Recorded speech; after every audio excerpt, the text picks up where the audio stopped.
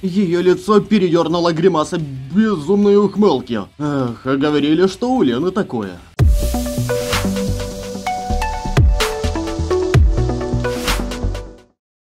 Здорово, братаны, вы на канале Дивплей, меня зовут Евгений, и сегодня мы будем продолжать проходить двое роленочки. Так что, погнали. А зачем наблюдаешь? В данном цикле за Ольгой, не считая ваших избранников, из кукол живой выглядит только она. Я удивился. О как. То есть ты хочешь выйти с ней? Я попробую, но, насколько я слышал, ни одного Семену не удавалось выбираться. Зато удалось Коля. Именно.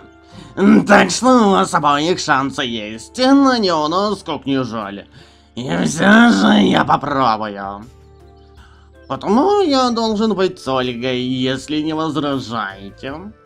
Ладно, спасибо, что рассказал. Я мог же и соврать. Если соврал, мы тебя найдем. Я не стал уточнять, что не отличу его от остальных. Леся стояла в задумчивости. Семен поспешил скрыться. «Знаешь...» «Знаю». Она удивленно посмотрела на меня. Ты хочешь сказать мне, что раньше бы, мол, я ему ударил по зубам, потом спрашивала... Спрашивал, зажав горло ногой. Но сейчас... А, стоп, это он про нее. Что раньше, мол, я ему вдарила бы по зубам, потом спрашивала, зажав горло ногой. Но сейчас... Нет, ты можешь вполне. Ты просто не хочешь так. Этот лагерь делает нас мягкими. Не зная, как мы выживем, когда попадем обратно. Как и раньше выживали. Навыки не пропадут. Мы не будем готовы, да и... Лёш... Я посмотрел на неё. Столько странной просьбы было в её глазах. Скажи, может останемся? Ну его, наш мир этот. Как вот я притащу как вот я притащу в наш мир такого гения, как Сашу? Шурика? Она кивнула. Он вообще не для нашего мира. Как я буду всегда выходить с ним на улицу, чтобы мало ли что не случилось? Все так неправильно. До меня вдруг дошла одна мысль. Неожиданно, хотя мозг отказывался верить. Леся, пошли на площадь кое-что покажу. Почему туда? Тебе нужно будет присесть. Да и мне тоже. Во избежание. Леся пожала плечами, но пошла в сторону площади. Я пошел за ней, и, наконец, мы сели на одну из скамеек. «Ну и?» – решила она перейти на Кталху. Я кивнул. «Леся, Тебе не приходило в голову только спокойно? Не тяни уже! Что тот мир, где мы жили раньше, не существует. Что это всего лишь иллюзия, что нам показывали. Леся приподняла с моего лба бандану и приложила ладонь к нему. Вроде не перегрелся, хотя тут в лагере не поймешь. Лезь. Она смотрела на меня, как на психа. И тут вдруг до нее тоже начало доходить. Что? Лезь, только спокойно, я только предположил. Да ты... Да ты в своем уме? Ты вообще понимаешь, что сморозил? Тише, тише, лезь. Не буду тише, не надо со мной, как с ребенком, надоело. Не будь грубой, не кричи громко, не бей никого. Я тебя не слушаю теперь, понял? Тоже мне старший брат нашелся. Я удивленно смотрел на нее. Никак не мог понять, с чего у нее такая реакция. Лесь, ну ты чё? Я с тобой серьезно хотел обсудить гипотезу. Гипотезу? Научная эфемнес? То есть сдвиг отрицания константности ты называешь гипотезой? Лесь, я не всегда тебя понимаю. Блин, заметно, несешь чушь какую-то дичь. Да, втираешь мне дичь. Это, по-твоему, тоже из мира иллюзий воспоминания? Ты еще зеленого слоника вспомни. Леся встала. Так, иди к своей... Кто она у тебя там? Ей сказки рассказывай. Я считала, что ты в миссии серьезная, а это просто пацан с ветром в голове. Она решительно двинулась прочь. «Леся!» Я встал, чтобы пойти за ней, но потом махнул рукой. Поймет потом, как нас и учили, что, как нас и учили в неизвестной ситуации, надо рассматривать все варианты, отметая те, которые точно опровергаются фактами. Юля, ты-то хоть тут?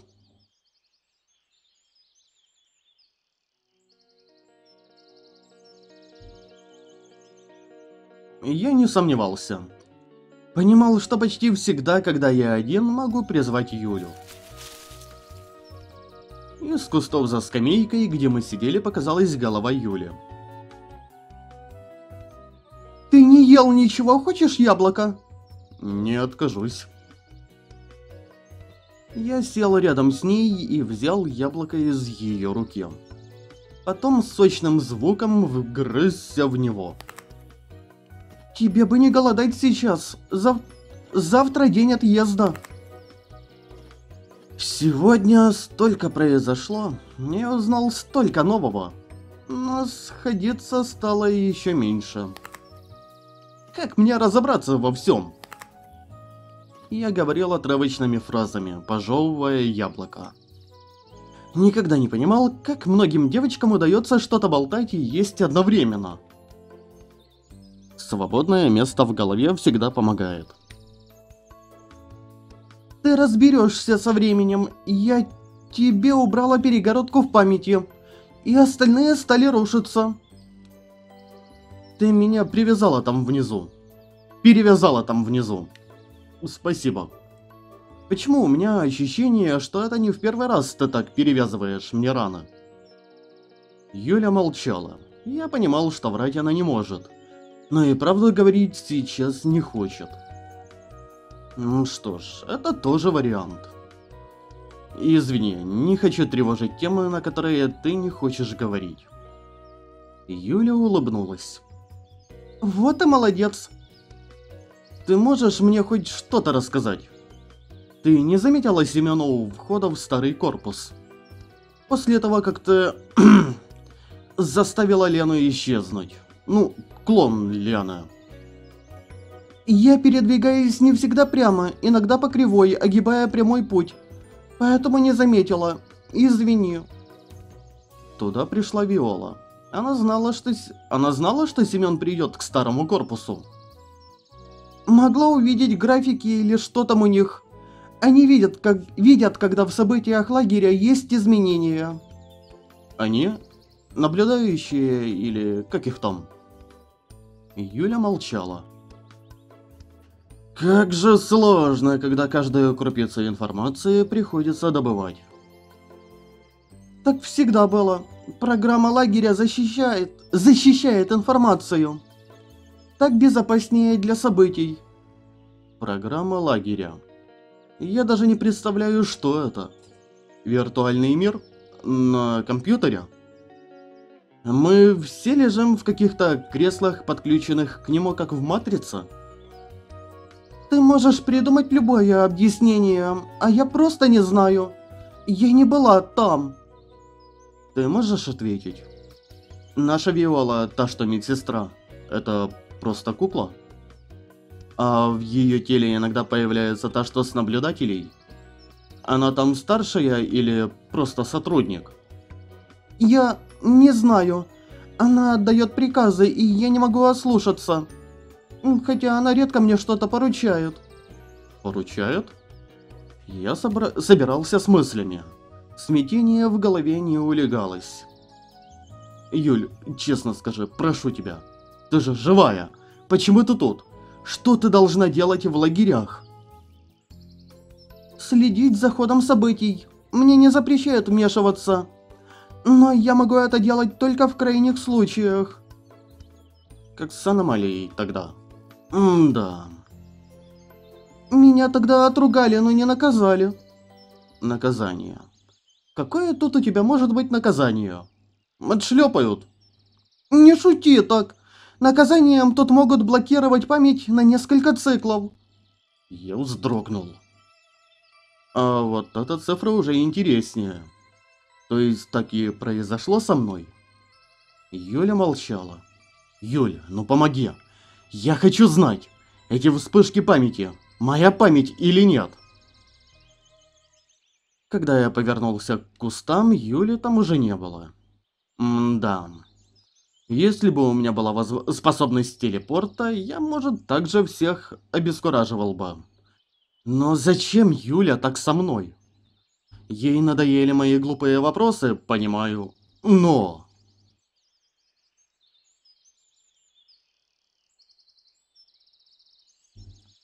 Тут я заметил, что кто-то подошел ко мне.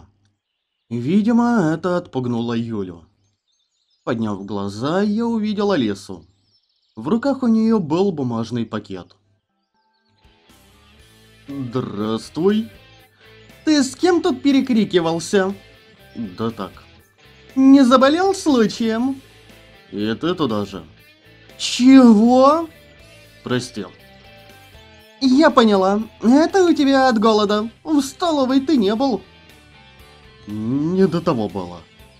Держи. Учти, такая халява не каждый день бывает.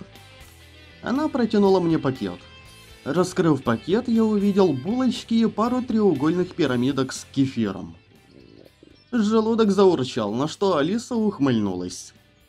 «Я так и поняла, что твой желудок рад моей щедрости». «Спасибо большое тебе».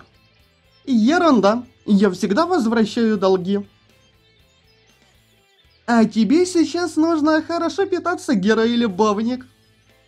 «Да какой я герой?» Какой-какой? Настоящий! Мою жизнь, кроме тебя, пока никто не спасал. Я вдруг вспомнил ту Алису в своем времени.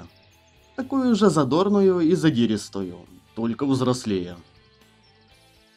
Вспомнил, как она рассказывала мне про детдом, про то, как вечно она была одна и только с Леной дружила. Алис, скажи, вот ты наверняка бы хотела в рок-группе играть? Это что, предложение? Я серьезно спрашиваю. А я шучу? Тут никому не секрет, что лучше меня на гитаре никто не играет. Может, конечно, Виола сможет лучше, но она редко берет гитару в руки. Так, Алис, теперь важный вопрос. Ты не помнишь Колю? Она наморщила лоб. Нет. А фамилию не подскажешь? Козлов вроде. Извини, никаких козлов не помню. А что? Да так. Ладно, мне пора. Хорошо, что быстро нашла тебя тут. Еще раз спасибо большое. Брось. Если что надо будет, обращайся, герой. Она задорно зашагала вдаль. А я не стал искушать желудок на новые звуки и принялся уплетать булочки с кефиром. Мой организм благодарно принимал пищу. Он совершенно не разделял, что я по делу пропускал обед. Закончив с булочками и кефиром, я встал со скамьи и потянулся. Организм клонило в сон. Может, на его все. Столько всего было сегодня. Поспать бы до ужина, а там уже и с Леной встретимся.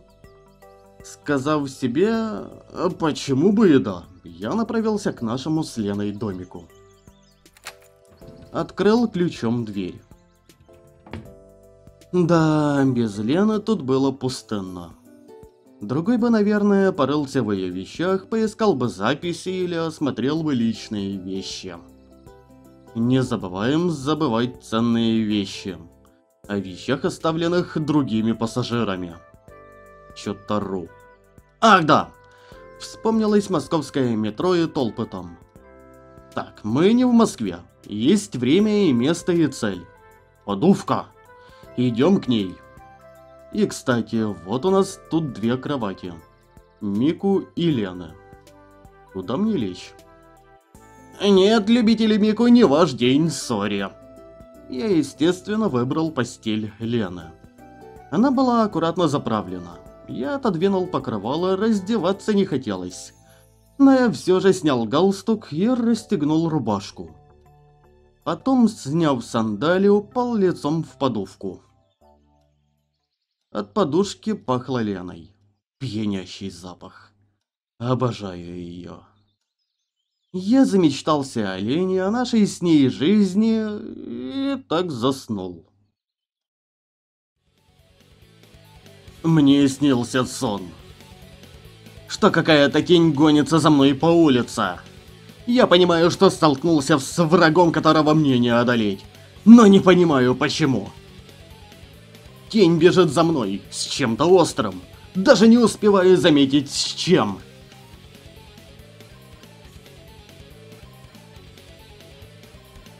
Я забегаю в переулок и понимаю, что это тупик.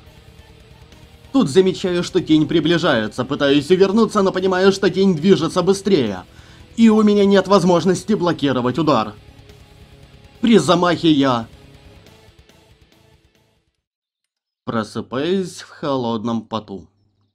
Чувствую, кто-то есть рядом. Поворачиваюсь вижу, на соседней кровати сидит Олеся. Чё она тут делает, ебать? Какая у нее улыбочка, как у Джокера. Сон все еще не выходит из головы. Нет, от Леси я не ожидаю ничего. Что? Леся направила на меня нож. Ее лицо передернуло гримаса безумной ухмылки. Эх, а говорили, что у Лены такое. Леся колеба... колебалась секунду и с этой же безумной ухмылкой ринулась на меня. Я успел подскочить на постели, и ее нож вонзился в матрас. Она сразу же его вытащила и приготовилась атаковать снова. Нехорошо! Ударил ногой, но она ловко увернулась. Сон встал перед глазами. Переулок, это кровать, а тень безумная Леся. Я использовал единственное, что успел. Какидзума. Двумя руками схватил лезвие так, что оно не могло меня коснуться. Леся резко дернула нож, и моя хватка не удержала лезвие. Руки были уже порезаны. Чё она это самое-то? Не, я понимаю, бабы, у нее эти дни могут быть, но чё так сразу беситься? Тут вдруг вспыхнула молния, пр прямо тут в домике. Но Лесю, похоже, уже ничего не отвлекало, и она снова ринулась на меня. «Сука!» следующую секунду Леся выронила нож. Она стояла еще мгновение, а потом упала. С ее шеи лилась кровь. Я с опаской посмотрел на того, кто ее смертельно ранил. Это была Лена. Лена стояла с окровавленным ножом в руке и, похоже, сама была в шоке. Да, блять, вы еще ебанулись-то все с такой безумной ухмылкой стоять. Через доли секунды она оскалилась безумной ухмылкой, еще более безумной, чем была у Леси. И ринулась к умирающей Лесе. Я перепрыгнул с кровати, оказавшись сзади Лены и... Крепко обнял ее, зажав руки. Нет, Леночка, не ты, не ты. Я обнимал ее крепко. Первые секунды Лена неистово рвалась вперед, и мне стоило усилий ее удерживать. Но вдруг... Нож выпал из ее рук, и она перестала сопротивляться. Просто повисла в моих объятиях. Послышались всхлипы и полились слезы. Я повернул ее лицом к себе. Через секунду она уже плакала, не сдерживаясь. Сразу же обнял ее. Лена тут же уткнулась лбом мне в плечо. «Тише, тише, Леночка. Не надо. Все хорошо». Ага, кроме Леси, которая, как и Лена, сошла с ума и теперь лежит вообще при смерти. «Я недостойна такого тебя». «Ты моя, достойна или нет? Это мне решать. Ты мое». Я возвращал ей ее же слова, но она не сказала во второй раз что она мне сказала во второй день знакомства. «Но я же...» «Не пущу. Ты мое. Твое. Она наконец перестала плакать, а я все прижимал ее к себе, не хотел отпускать. Ну, если ты так не хочешь ее отпускать, то сидите так вдвоем и дальше. Тискайте друг друга. Ну а сегодня на этом э, все. Всем спасибо за просмотр и всем пока.